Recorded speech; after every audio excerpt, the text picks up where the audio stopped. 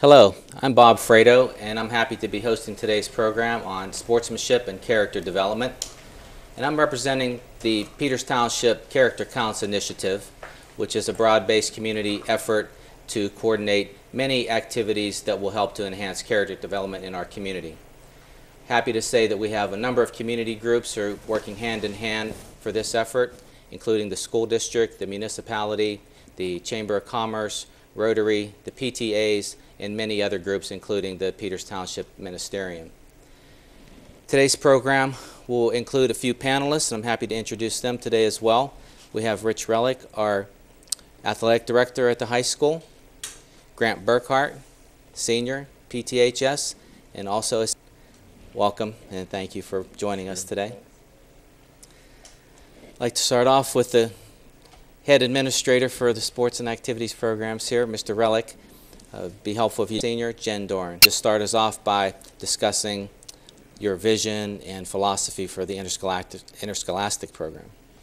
Well, I, I think one of the things we try to do here at, at Peters Township in our school district is make sure that uh, that our activities support the academic mission of the of the schools, and whether it be our strategic plan or the goals and missions we have for our school district, we hope they coincide with what we do athletically. Um, we think, uh, from the athletic administration perspective, that activities are inherently educational.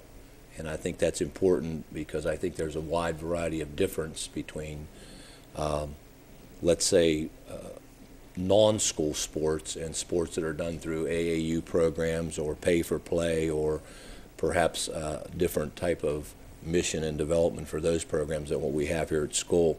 And also, we feel that the activities and participation in such activities really foster success for kids later in life, not just in athletics. So that's one thing I think we're very proud of here, uh, Dr. Fraedo, is that our goals, our mission, our strategic plan uh, dovetails or is coincidental with what we do in the district.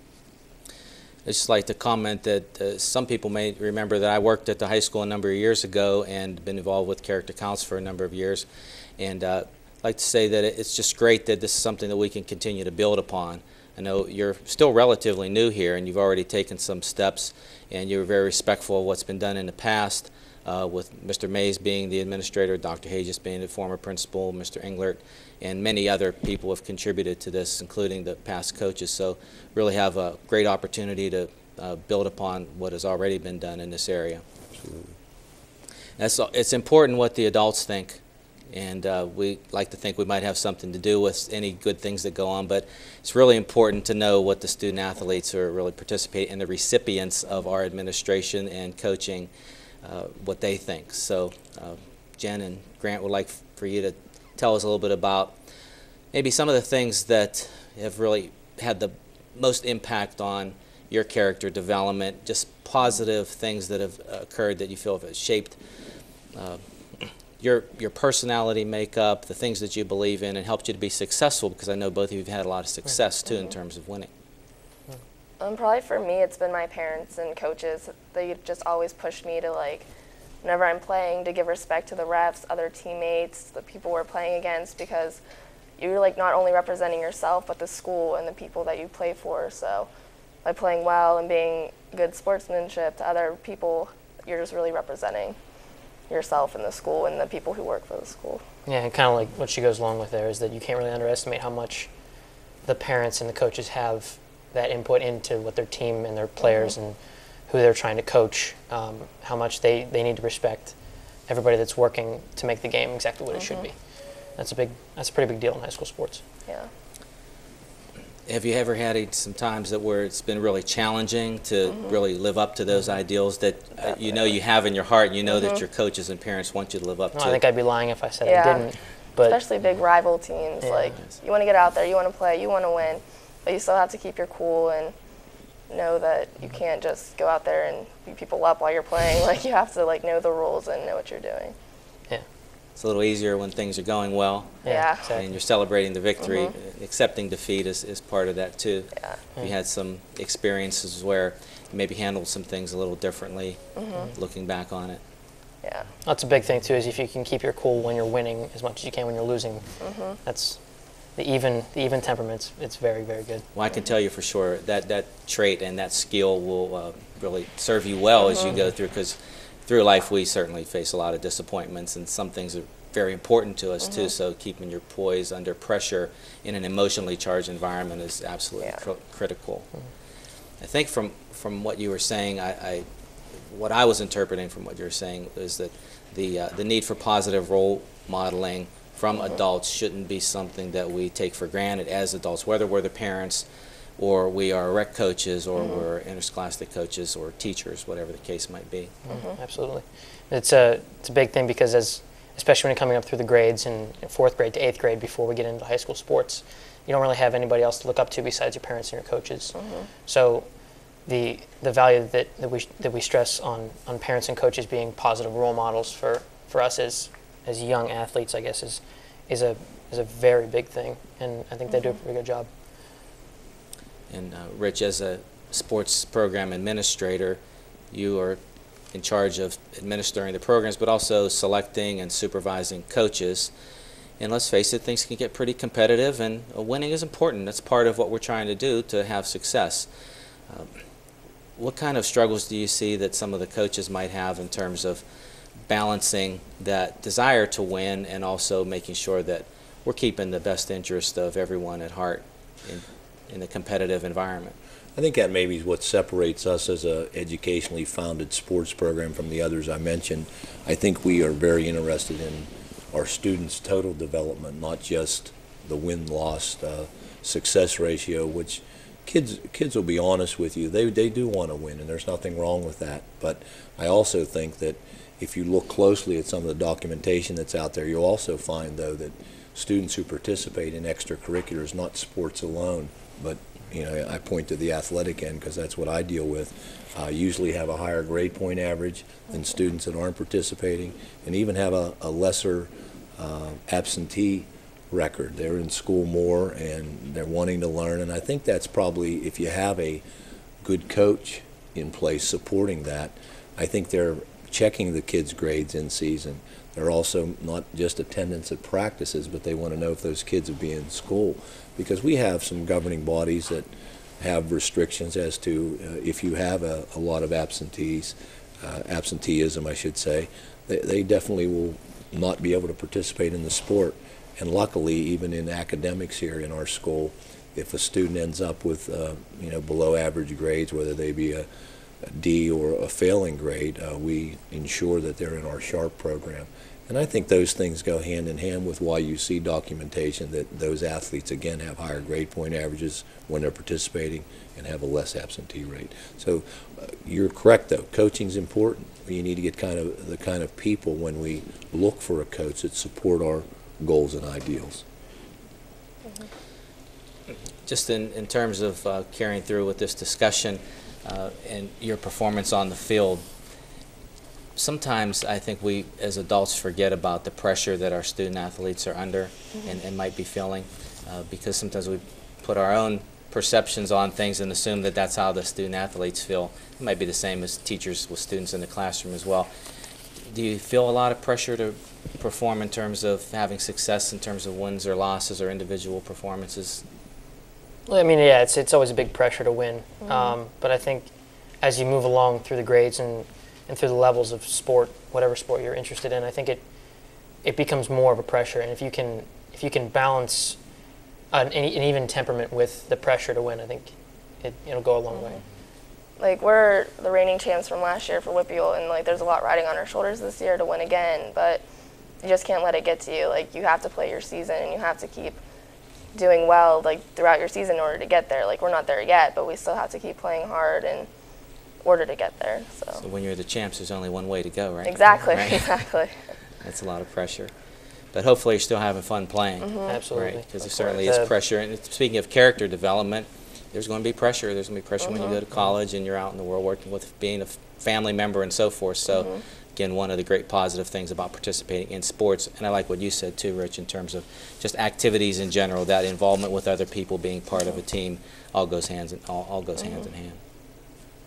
Can you tell us a little bit about some of the specific uh, programs that you have in place and are, are working towards Sure. implementing at this point? One of the things, and I think if I'm memory's correct, Jen was part of the student athlete group, is last May, we assembled a group of approximately 10 to 12 student athletes, uh, coaches, and also parents, and asked them a little bit about our program. What are we doing right? What can we become better at? Uh, is, are we providing the, the needs to the stakeholders of our community in the way of our interscholastic athletic program? What was kind of neat is that uh, there was a person actually that facilitated the group named Dr. Amy Kimball. she is actually uh, a sports psychologist from the UPMC headquarters on the south side. Is known all over the country. I think she's a graduate of the University of Tennessee with her doctorate in sports psychology from Tennessee, and she led that facilitation of the questions. I have no idea other than the fact that I assembled the room, put some drinks and a few snacks in there, and then actually made haste and got out of there so that the people felt that they had an open door to talk about what they needed to. The best part about the whole particular, uh, it was called at that time, uh, the status of scholastic sport, this study that she was starting to put together.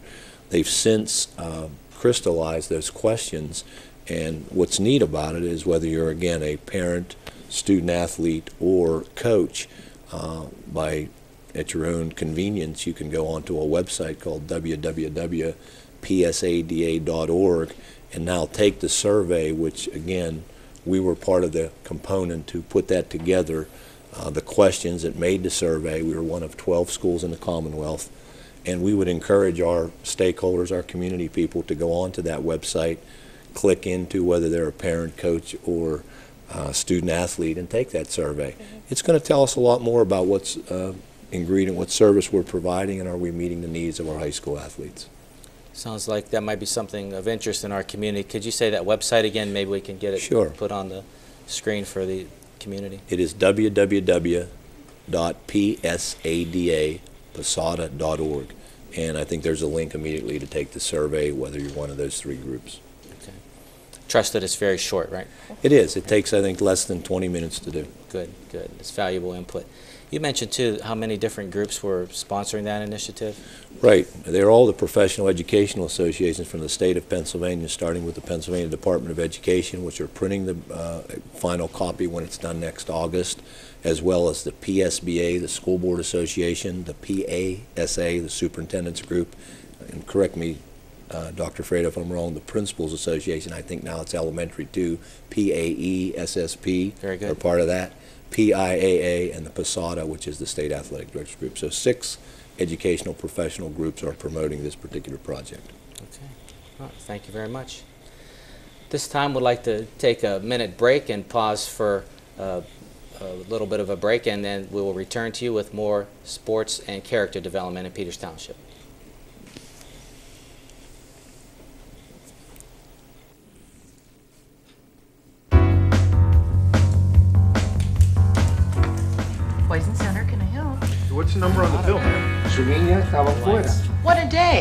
Started with a call from the factory in town. There had been a chemical I was spill, going to throw a and couple a of these number of little employees tidbits had in I thought would be important. This mom called because her two-year-old got into some old blue pills, and she was scared.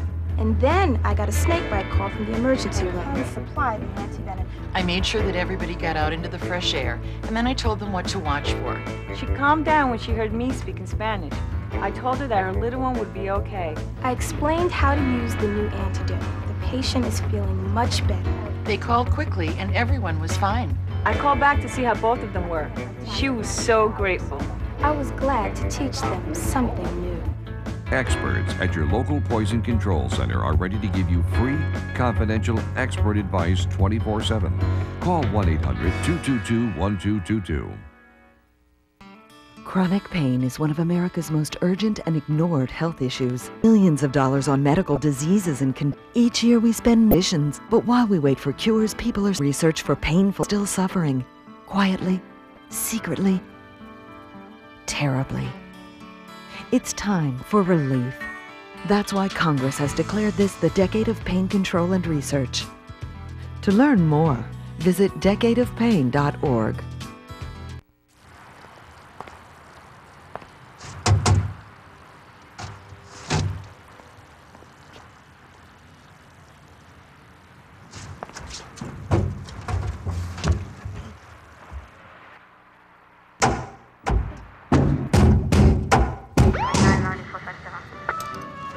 e-file. Get receipt confirmation and a quicker refund. Log on or tell your tax preparer to e-file for you and join the 53 million e-filers who consider it done.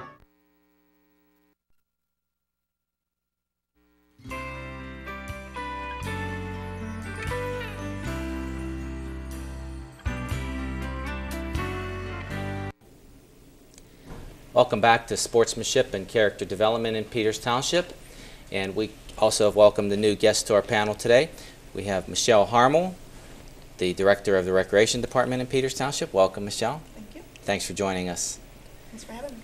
You're welcome. It's a good opportunity for you to tell us a little bit about some of the training programs that you've been able to institute in Peters Township through the Rec Department that help to promote these ideals. Well, the Peters Township Parks and Recreation Board has instituted a program called YES, the Youth Exemplifying Sportsmanship. And um, through that, we try to encourage our youth sports associations to encourage parents and coaches to have positive sportsmanship and to pass on good um, role model behaviors to the children uh, participating in sports. Um, we have literature that we pass out to the sport associations, um, such as handbooks. We have a parent's handbook and a coach's handbook that we can provide to the associations to help um, give them guidelines for positive coaching and sportsmanship. We also have like little things like this that we can hand out to the parents. We pass out through the um, uh, recreation center, and um, we also have workshops that we've provided through the township for the sports association coaches to participate. We've done so by um, obtaining grant monies and funding from outside organizations, and then we can provide these workshops to the coaches at no cost. And um, we just had one last November. We had 33 of our youth sports coaches in participation. Um, we had a speaker from the Positive Coaching Alliance along with somebody from the UPMC. It was a um, PhD that came out and spoke about sportsmanship.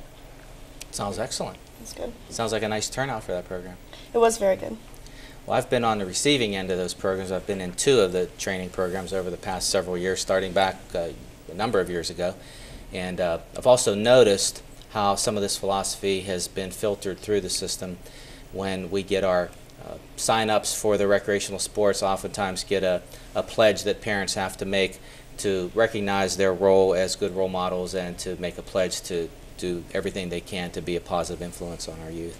We I think that alone is a is a very positive step. It just makes you stop and think. And the other thing I found that's useful is that uh, in working with other parents who are coaches, uh, we tend to try to help each other then as we get a little bit maybe uh, too into the games for uh, the sake of winning and losing. Sometimes we remember there are uh, young children on the other end of our coaching and make sure that we keep that in mind and Absolutely. understand the purpose we're serving too. So thank you for your efforts in that area. I know it's doing a lot of good in our community. Well, again, we talk about the things that we as adults think are important, but really want to hear from Grant and Jen in terms of uh, what suggestions you might have for all of us as uh, program administrators, parents, rec directors, etc., in terms of the kind of things that you think would be really useful for us to continue to do, do more of, or do less of. I know what Mr. Ehrlich was talking about um, before the commercial was sports psychology, and it might be something that maybe not you don't think about at the at the first set that you you have problems in sports. But I, I pulled myself out of a pretty big slump. I'm a golfer. That's what I do. So uh, I, I read a book by Dr. Bob Rotella, and he's a sports psychologist for golf, um, and it's it's really helped as far as keeping myself in control mentally on the course and and that is a big thing with sports is the mental side of it. I mean, for me as a golfer, I look up to Tiger Woods because I, I think that he's the most mentally strong athlete that there is that plays sports, not just golf, but sports in general at this point. And so I, I think sports psychology is a big thing. If we could implement that somewhere as, as, far, as far as getting it into the middle school, into the high school age. Mm-hmm. As far as far as that um, forum that we had back last year, I don't know what the parents and coaches had to say, but it was just a really good way for all the athletes to like give suggestions to what was her name? I don't remember. Amy. King. Amy, um, just like telling her how we feel about like coaching wise and um, other things that can be done to help promote our school sports better and I think that was a really good way just to have everyone like say how they feel without any pressure from other people being there as far as coaches and stuff. So And we had talked about looking up to role models, um, Mhm. especially through the through the grade school uh, days. When I remember when I played basketball in fourth, fifth, sixth grade, I went to a bunch of camps that were run by Rick Bell, who used to be the basketball coach here. And I thought that was really, really good because you're looking up to what you're looking forward to in high school sports as you move on 9th, 10th, 11th, 12th into the varsity level.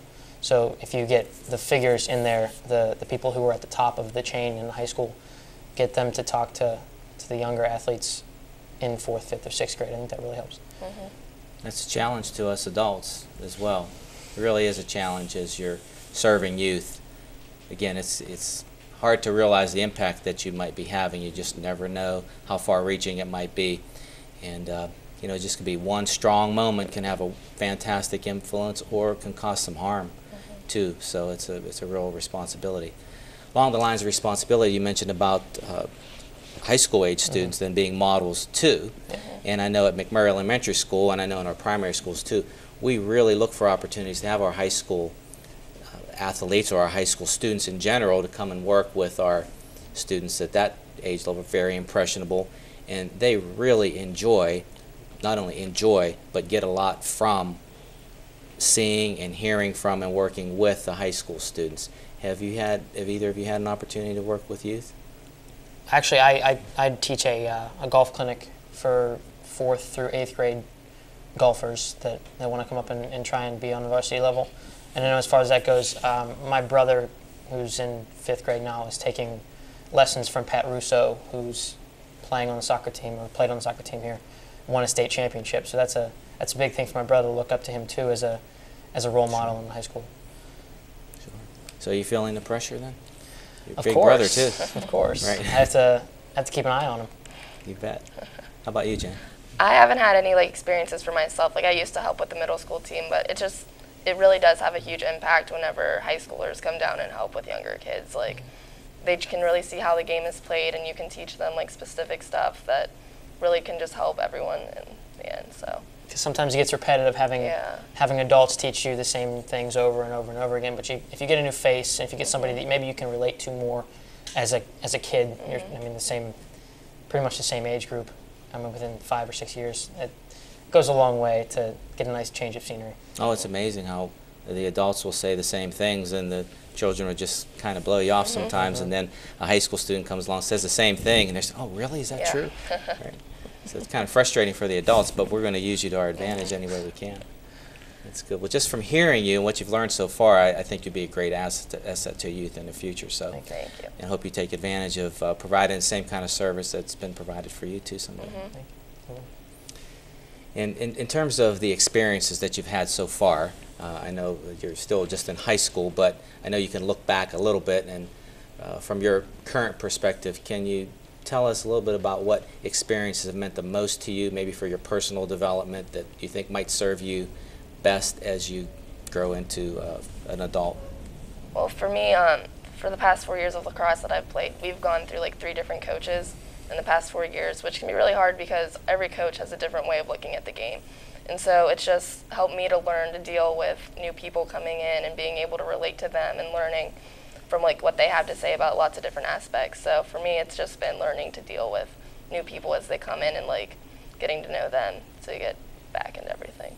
Perseverance, Mhm. being resilient, Mhm. definitely character builders, no question.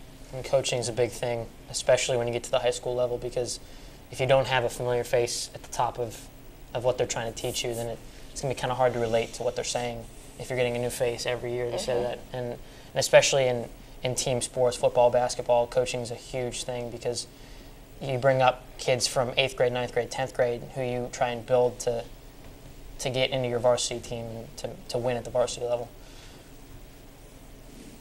I could understand that.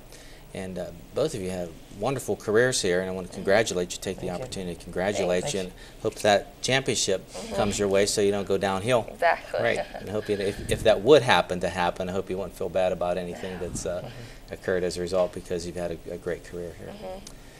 So, opportunity for uh, Rich and Michelle just to tell a little bit about the next important steps for your respective programs. Rich.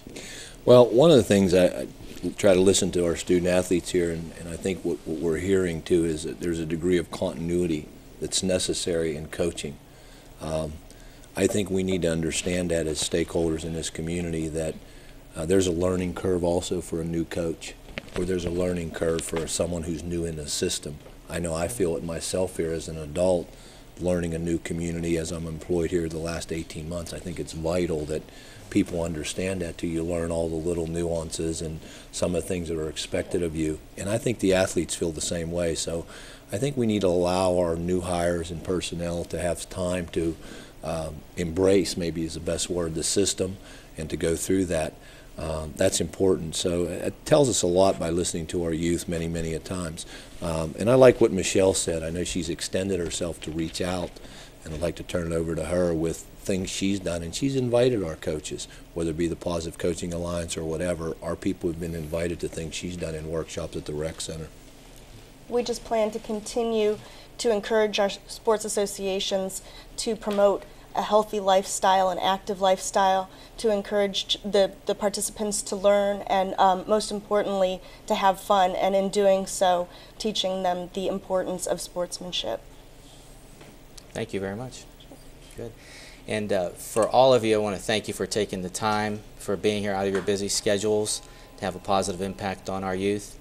And uh, to the community from Character Council, I'd like to extend the message that we are uh, really proud of all the accomplishments and the participation of so many people to help our student athletes, community members in general have a positive experience through participating in sports.